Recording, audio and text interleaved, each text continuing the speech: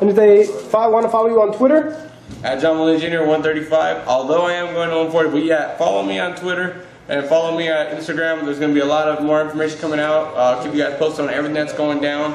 And uh, you know, we're going to also have some raffles out there, so check it out at John Molina Jr. 135 or Instagram and Twitter.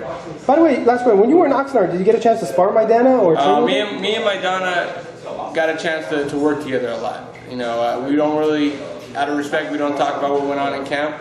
Maidana, if anyone's if anyone is supposed to be a fighter in the world, Maidana's the guy.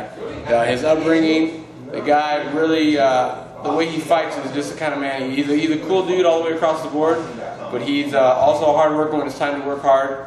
And he also is, I mean, if, if you're able to get on a personal level with him and talk about his upbringing and his background, I mean, the guy is just a tough dude all the way. It kind of reminds me of a Greg Haugen kind of tough guy uh, persona about him. So I'm very intrigued to see the Mayweather fight with Maidana. How would he do in that fight? do you think? Uh, you know, it's hard to go against Floyd Mayweather because he is the best of our era right now. You can't really pick one side, one way or the other. The only person, in my opinion, with all due respect to Marcos Maidana, because I think he has a puncher's chance, which I'm a big fan of, as you guys can tell by my career.